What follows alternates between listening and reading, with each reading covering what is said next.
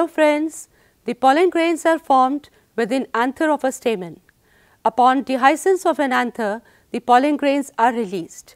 They are transferred to the stigma of a carpel. The agents of such transfer could be air, water, birds, insects, bats, etc. This act of transfer of pollen grains to the stigmatic surface is called pollination. Upon landing on stigma, the pollen grains germinate. Emergence of one or more pollen tubes from a pollen grain is called pollen germination. A pollen tube is an extension and protrusion of an intine, the inner wall of a pollen grain. Following pollination, whether a pollen grain germinates or not depends upon various factors such as compatibility, hydration, nutrition, temperature, etc. Papillae of stigma secrete exudates in most carpels which help pollen grain to germinate. Such exudates are rich in lipids, phenols, free sugars, amino acids, peptides, proteins, water to nourish pollen tube growth. The aim of this session is to study pollen tube growth on stigma.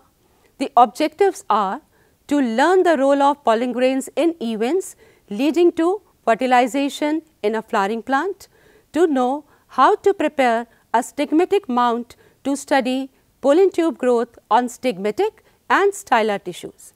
Also to explain the role of stigma during pollen germination. To conduct and demonstrate the experiment, we require freshly plucked open flowers within 6 to 24 hours of anthesis.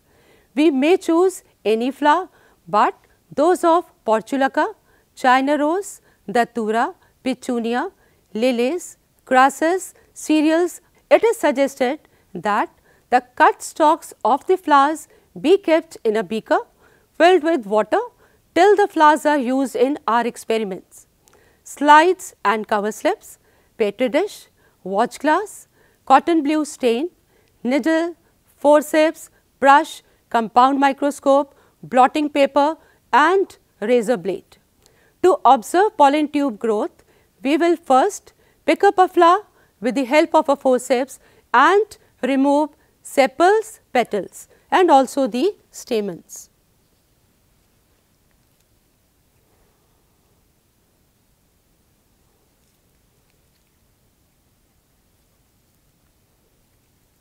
So, these are the petals which we are uh, removing and now we have to remove all these anthers.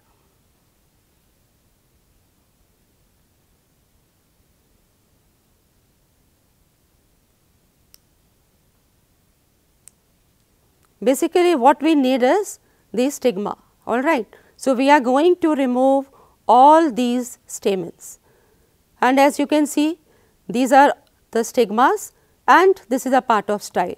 So, what we are going to do is with the help of the scalpel, we will transversely cut the stigma and we are going to place it on this micro slide.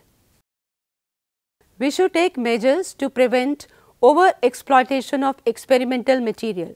Now, we will put the stigma and part of style in a small beaker containing hot water for 15 to 20 minutes to make the.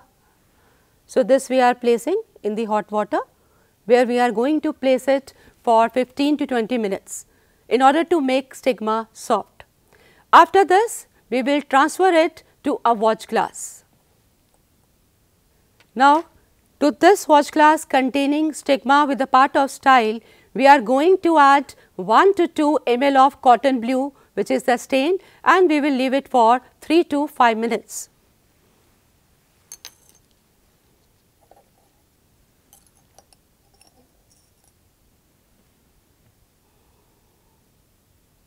Now, after 5 minutes, we will pick up the stigma with the stylar tissue and we will keep it on the glass slide and we are going to put the cover slip. But before that what we are going to do is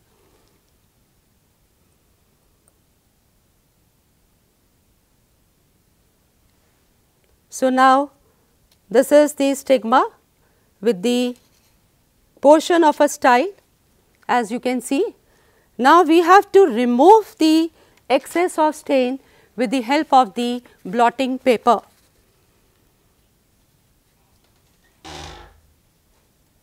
Like this. And with the help of this needle we are going to just cut this stigma. Because now we have to observe the germinated pollen grain. That is we will be looking for the pollen tube.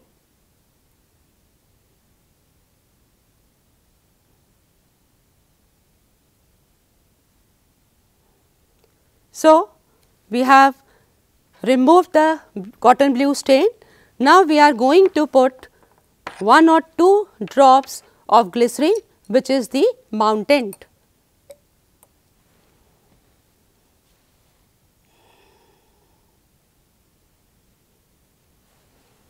So, we will put uh, 1 drop more of this glycerine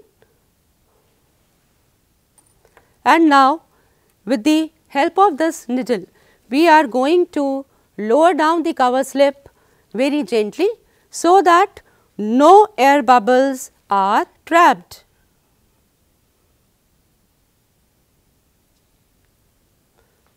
And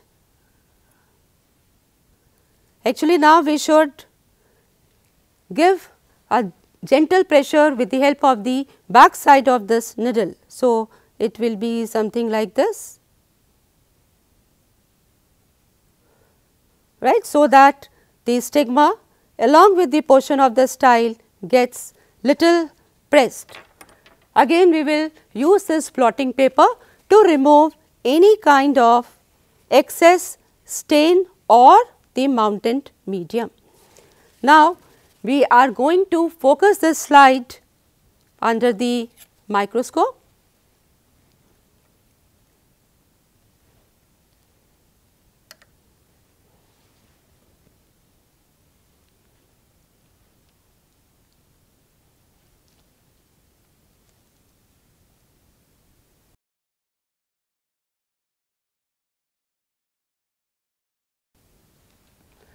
we will take the observations. We may observe a mass of stigmatic tissue, principally papillae. A papilla is an elongated cell with a distinct cuticle. Many pollen grains can be observed adhering to the papillae. Some of the pollen grains can be seen to be fully turgid. Some of them could be seen with protruding pollen tubes through germ pores. Such pollen tubes could be seen traversing through the surface of the stigmatic papillae. Eventually, these pollen tubes entrench the stylar tissue.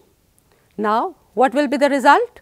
The stigmatic tissue has attached or free pollen grains. Some pollen grains have germinated.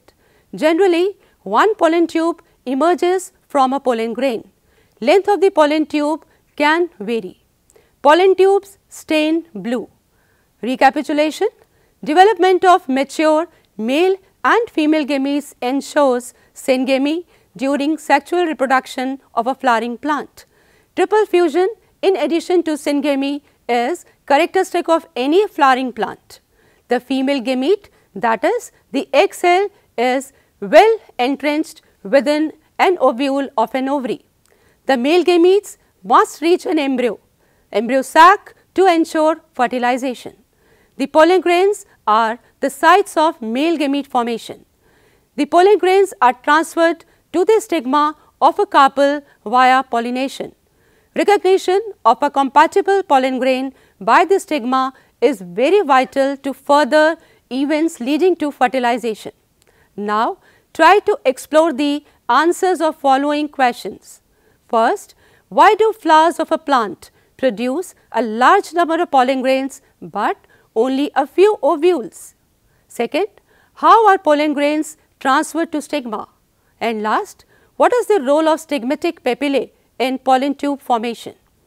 The learning outcomes that can be achieved through this session are differentiates phenomena and processes based on certain characteristics and salient features such as reproduction in organisms, reproductive parts of commonly available flowers, autogamy and geitonogamy, inbreeding and outbreeding, in vitro and in vivo fertilization, genotype and phenotype etc.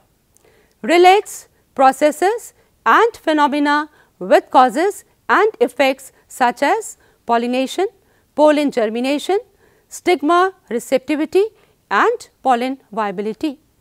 Explains processes and phenomena such as pollination, double fertilization.